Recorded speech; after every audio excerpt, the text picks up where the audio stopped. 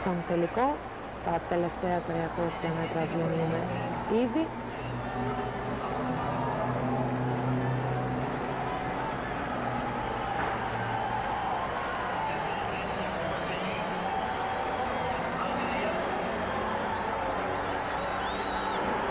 για τον Γερουή από το Μαρόκο.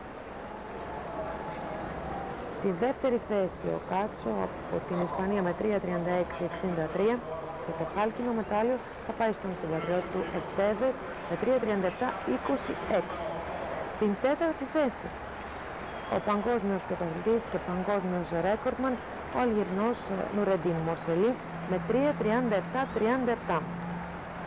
Και βλέπουμε πως πανηγυρίζει το χρυσό μετάλλιο σε αυτό το έκτο παγκόσμιο πρωτάθλημα στίβου ο Μαροκινός Κερουί ο Πάγκο και θα ολοκληρώσουμε την ε, απόψινή περίληψη με το τελευταίο αγώνισμα του δεκάθλου που είναι τα 1500 μέτρα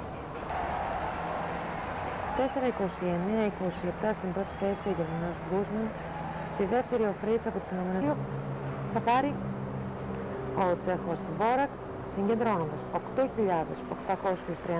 βαθμούς. तो अर्घ